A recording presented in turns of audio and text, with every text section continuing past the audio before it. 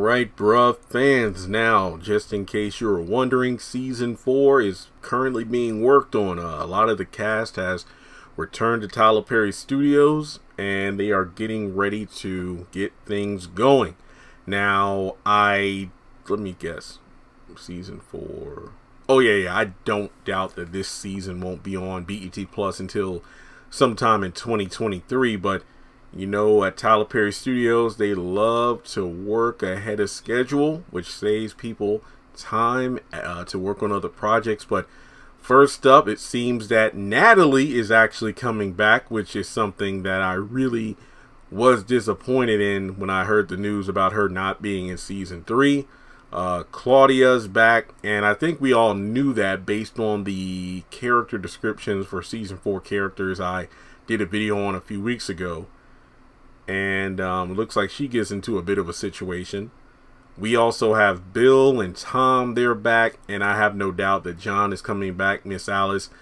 And I'm very curious to see what's going to happen with Mike based on the finale of season three, which I do believe is where he's going to be in a drug induced coma. So, with that being said, that's really all I got for this video because I don't want to spoil too much. Mainly because I don't know too much. I just know from cast posting on Instagram and whatnot that, you know, they're back at Tyler Perry Studios. They're doing their thing.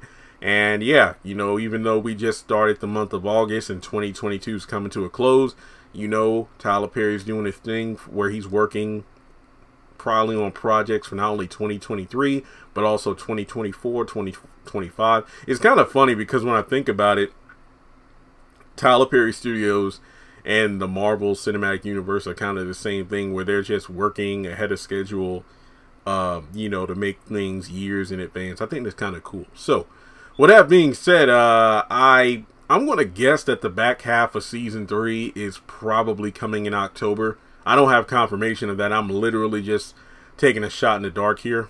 Uh, so yeah, that's pretty much all I have for this video. Like and subscribe, and I'll catch you all in the next one.